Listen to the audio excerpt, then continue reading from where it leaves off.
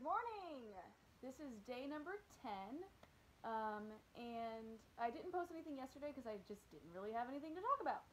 But today, um, I kind of wanted to talk about minimalism because I there's a high high likelihood that I'm going to be moving to Massachusetts over the summer um, to work as a culinary camp counselor at one summer camp and then a photographer and videographer at another summer camp. Um, so first of all, I just want to say like manifestation and stuff, like it all sounds so silly, but I really have just been narrowing in on myself and focusing on myself in the last, I guess, just the last week. And all of these things are already happening. Like I'm setting my intentions out there and things are just flooding in. And that's something like about a year or two ago that I was very, very in tune with. And it was like I would look up and then it's a new opportunity, new opportunity, new opportunity. And that is the stuff that's happening right now. And they're just like strange coincidences. Like I honestly don't believe in coincidences. I believe that everything happens for a reason and you know, like the other day I was talking or yesterday I was talking to my sister about um, vegan and she's like, "Oh yeah, my nephew doesn't want to eat meat anymore." I was like, "Wow, that's so funny." So I go to this website and I'm looking through it, and they're talking about this youth empowerment camp that basically teaches teens how to, you know, form groups, um, you know, get involved in activism, use social media for social change, etc., etc. I was like, wow, that's awesome. I would love to be involved in something like that because I love the idea of teaching our young kids, the next generation, you know, um, besides the, us, but the next next generation of bosses and you know people who could quite literally change the world. So I looked and I was like, oh, you know, they're probably not doing any camps soon. And there just so happens to be a camp the same exact time that I might be in Massachusetts for this other camp. I don't think that's a coincidence. I think that's a crazy turn of events where, you know, the path of my life is on in the right uh, right direction. Um, so anyway, I got a little sidetracked. But um, minimalism I wanted to talk about because I'm also selling off all my stuff um, because I'm most likely moving out of my apartment in May um, to move in with my grandmother, who her memory's kind of going. But honestly, I mostly it's for me to save money, and because if I make the move, obviously I'm gonna need to save some cash to drive across the country because I won't be able to fly because I have my pets unless somebody wants to foster them. This is my cat's tail if you can't tell. Um, so yeah, um, there's something so liberating about just like getting rid of stuff. Like I went through my closet, like the things that you see hanging there are like some of the only pieces of clothing I have left.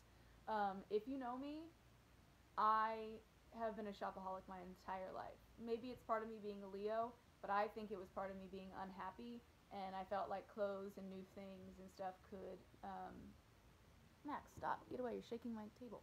Um, but I also think it was a part of me using it as a crutch, just like I used alcohol or whatever else, relationships, um, to make me feel good about myself. So uh, it was super scary at first. Like, you know, I have a storage unit where I don't touch any of that stuff. And I'm like, why do I have a storage unit if I'm not touching anything? Um, it's ridiculous. And the majority of people in America have storage units of full of shit that they never touch.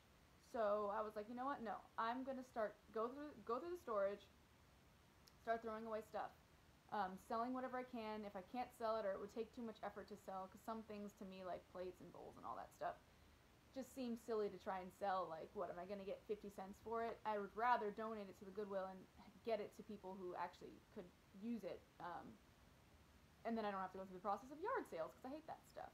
Um, you know, like a ton of books that I think would be helpful to people. I'm going to start giving out. So check out me on Facebook if you haven't already. Facebook.com slash babblingbmarie. I have a ton of really amazing books about permaculture, gardening, um, you know, just sustainable living. Also, a lot of self-help books that I've already read multiple times, so there might be a lot of notes in there. But there's just some stuff that I won't be able to take with me if I drive across the country. Um, so yeah, I think like if you are feeling like your life is overwhelming, one thing I would say to do is start getting rid of stuff. Go into your closet if I if you haven't worn it in 6 months, don't be like, "Yeah, I could totally, you know, like I think I might wear this later." Just get rid of it. Toss it in the donation pile and eliminate the stuff in your life. You will feel yeah, just free. Like there's just this freedom with getting rid of stuff. And, you know, I've just started. Like I have a lot of stuff. And it's like, you know, bunch of stuff in my kitchen I never touch. Like I am a cook, so it's a little different. Like, well, I have these ingredients because I'll probably use them at some point. But even that is like, I haven't used it. Maybe I can go give it away to someone in my family who bakes a lot because I have a lot of baking stuff and I never bake. So yeah, I mean that's just something that's on my mind. You know, I'm starting to sell off a lot of stuff um, that's worthwhile. You can check out me on OfferUp if you want to buy something. Um, and yeah, it just feels really good. And obviously, like I have completely changed from a pe- total pessimist to an optimist lately, and I just highly believe that I'm going to get this camp counselor job. So if I do, I'm leaving LA. I may come back after the two months. I may stay longer.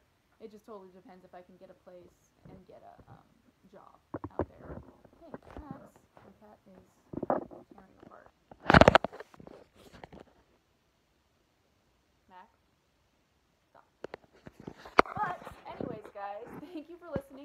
again, and I'm looking